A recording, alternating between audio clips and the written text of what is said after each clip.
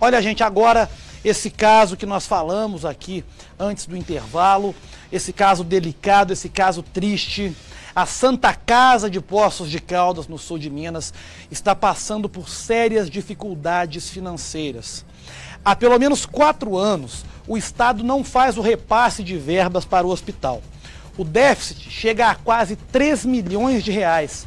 As consequências disso são as filas de pacientes que aguardam por procedimentos cirúrgicos. Olha, eu, eu disse aqui, é, antes de chamar a reportagem, que mais uma vez, há muito tempo a Santa Casa está assim. Eu falo porque eu sou de Poços de Caldas, morei lá até quatro anos. Há quatro anos eu ainda estava em Poços de Caldas.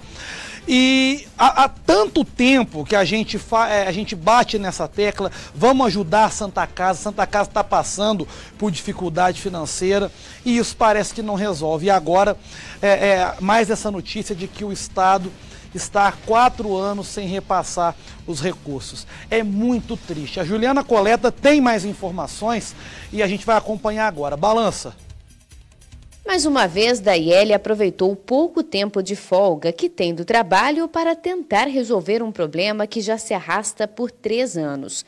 É que a filha mais velha dela, que hoje tem seis anos, precisa urgente de uma cirurgia ortopédica. A menina, que nasceu com pouco peso, precisou ficar dez dias na incubadora após o parto. E no dia de deixar o hospital, veio a surpresa. Foi um susto, né? Mas aí o médico disse que ela pegou uma infecção, que ela tinha que ficar tomando antibiótico, porque a perninha dela não esticava mais. Depois, já aos três anos de idade, a mãe percebeu que a perna direita da filha estava com uma pequena diferença da esquerda. O diagnóstico demorou para sair. Foi quase um ano até que os médicos dissessem o que a menina tinha. Encaminhou para a CD, aí lá constatou que não era normal, que ela tem mesmo uma perna maior que a outra, que ela tinha que fazer uma cirurgia. Foi aí que a luta dessa mãe começou. A cirurgia da filha deve ser feita até que a menina complete os nove anos de idade, mas ainda não há previsão para que o procedimento cirúrgico seja feito pelo SUS. Em particular, não tem como. A família, a gente não tem dinheiro para pagar essa cirurgia dela. Cirurgia, mais a botinha, mais as coisas depois, não tem como pagar. Selma enfrenta uma situação parecida.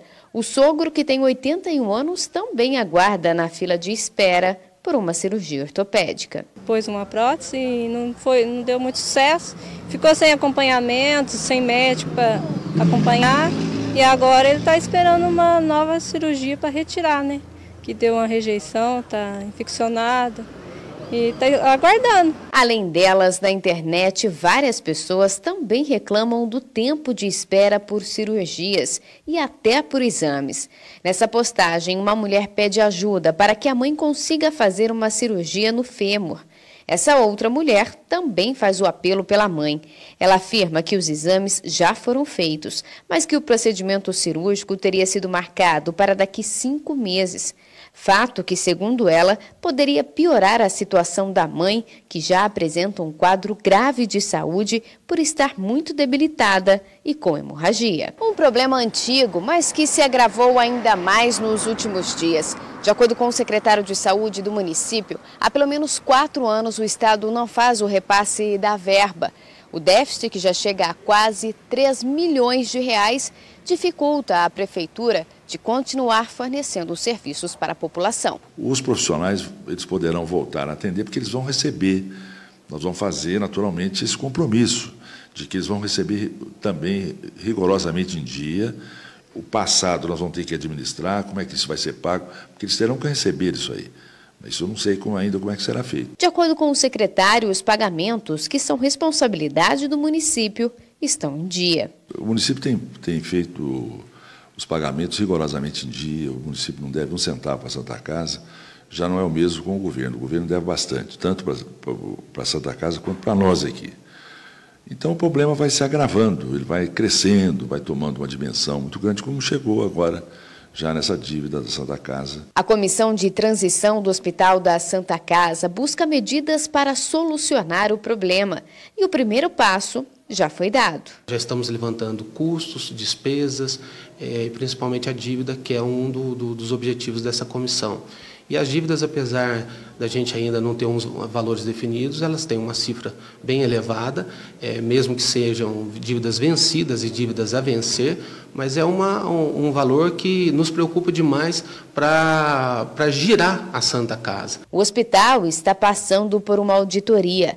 O resultado deve apontar possíveis soluções. Que a gente possa conseguir conduzir caminhos, estruturas, protocolos, processos através da auditoria, que é o segundo objetivo é, bem, bem direto dessa comissão, e que a gente possa estabelecer a rotatividade do serviço, a retomada do serviço da Santa Casa, gerando receita para que o serviço continue sendo prestado a toda a população e a toda a região. Além dos fornecedores, muitos médicos também estão sem receber. Alguns profissionais estão sem pagamento desde abril do ano passado. Nós temos levantamento de, de profissionais que estão sem receber desde abril. Então isso inviabiliza. São todos profissionais que têm suas carreiras, dedicam seu trabalho ao atendimento à população e à instituição Santa Casa, que é muito importante para o município de Poços de Caldas. E é mais do que justo que recebam pelo trabalho que prestam. A estimativa é de que em seis meses os problemas sejam regularizados, ou no mínimo amenizados. É nítido que o, o, problema tem que ser resolvido o mais rápido possível. Então, nós estamos ultimando a contratação dessa auditoria, estamos acelerando os, os, o processo de trabalho dessa comissão para que a gente possa dar uma resposta à população de Poço e retomar o serviço da Santa Casa em sua plenitude o mais breve possível. A Secretaria de Estado de Saúde informou que a Santa Casa de Poços de Caldas faz parte do elenco de hospitais beneficiados pelo programa ProHosp Incentivo. A primeira parcela quadrimestral 2017 foi paga em junho do ano passado. O valor pago foi de 483 mil reais. O valor de 446 mil reais, referente à segunda parcela quadrimestral de 2017, foi pago no dia 24 de janeiro deste ano. E a terceira parcela quadrimestral 2017 foi paga também no dia 24 de janeiro deste ano.